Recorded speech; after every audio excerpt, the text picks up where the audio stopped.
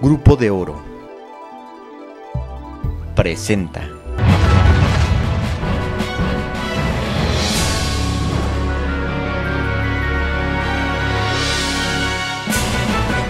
Sumándose a las movilizaciones a nivel nacional, los agremiados a la Coordinadora Nacional de Trabajadores de la Educación mantuvieron tomadas algunas casetas de la entidad, pero permitiendo el paso vehicular. A lo largo de las orillas de la carretera se observaban inmensas filas de vehículos, propiedad de los profesores asistentes a esta movilización, y por los centrales, los usuarios que pasaban gratis pero que avanzaban lentamente.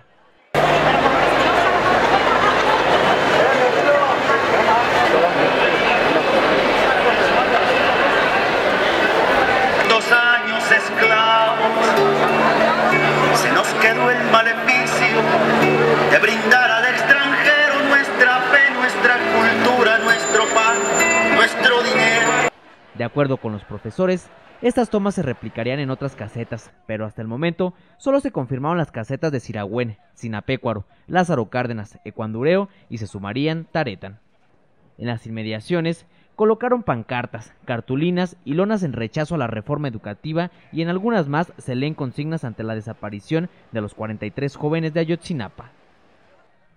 Esta serie de actividades se mantuvieron en las casetas hasta las 15 horas y no descartaron replicarlas este miércoles 14 de octubre, fecha en que también tomarán acciones a nivel nacional. En este sentido, los agremiados a la Coordinadora Nacional de Trabajadores de la Educación tomaron las instalaciones de la Secretaría de Educación en Michoacán, que tomó por sorpresa a quienes laboran en las oficinas y otros más molestos ante el cierre de las mismas. Con imágenes de Roberto Zavala e información de Uriel Morales, Agencia Cuadratín.